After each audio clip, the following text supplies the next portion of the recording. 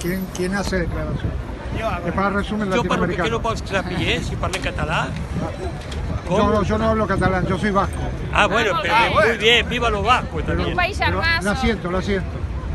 ¿Por qué estamos aquí? Estamos acá por una injusticia total de España y queremos el- que nos dejen votar para la independencia de Cataluña, porque en realidad somos una colonia de España.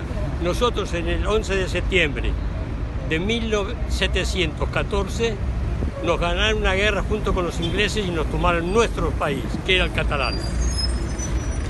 Hoy en- se está haciendo el juicio a los presos políticos catalanes. Y, inda, en realidad, este no es un juicio a España, en realidad. Inda, No, esto es un juicio, no es un juicio, es una vergüenza. Porque inda, realmente por votar no nos pueden poner presos. Inda, No hay libertad. ¿Qué pasó el primero de octubre?